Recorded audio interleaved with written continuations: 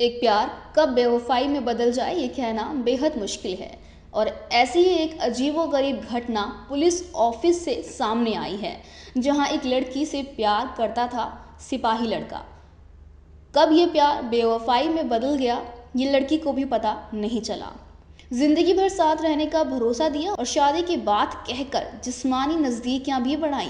लेकिन पुलिस में नौकरी लगने के बाद ही वो लड़की से दूर जाने लगा और फिर लड़की को उसकी बेवफाई साफ़ साफ़ नज़र आई। तो वो सीधे निकली एसएसपी से शिकायत करने। फिर क्या किया एसएसपी ने ऐसा कि लड़की, लड़का शादी के बंधन में बंध गए? चलिए जानते हैं कि आखिर क्या है ये पूरा मामला। आपको बता दें कि बुलंदशहर के सियाना की रहने वाली काजल अपने सिपाही प्रेमी गौरव की बेवफाई की शिकायत लेकर एसएसपी बुलंदशहर संतोष कुमार सिंह के पास पहुँची। तो बता दें कि एसएसपी ने प्रेमिका की शिकायत सुनकर प्रेमी को जेल भेजने का डर दिखाया। प्रेमी जेल से बचने के लिए, शादी के लिए रजामंद हो गया। फिर क्या था? एसएसपी दफ्तर में एसएसपी ने जयमाला मंगाई और इतना ही नहीं, शादी की खुशियाँ बांटने के लिए मिठाई भी मंगवा डाली।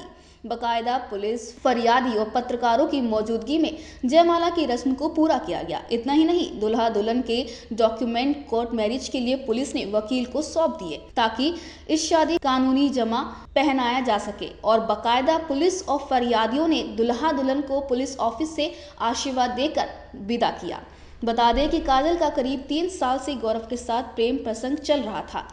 प्रेमी काजल का ये आरोप है कि गौरव शादी का झांसा देकर उसके साथ शारीरिक संबंध बनाता रहा और इसी बीच गौरव की नौकरी यूपी पुलिस में लग गई और उसने काजल के फ़ोन उठाने बंद कर दिए।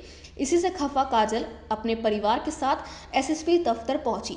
एसएसपी से शिकायत की और जैसे ही ये खबर गौरव तक पहुँची, वो भी सफ़ाई देने के लिए एसएसपी दफ्तर पहुँच गया।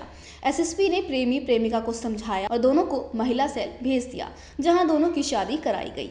चलिए सुनाते हैं क्या कहना है दुल्हन काजल का।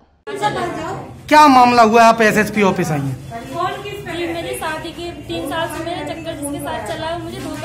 कोशिश कर रहा था दस दिन से मुझे पागल बना रखा है कि आज शादी करूँगा आज शादी करूँगा।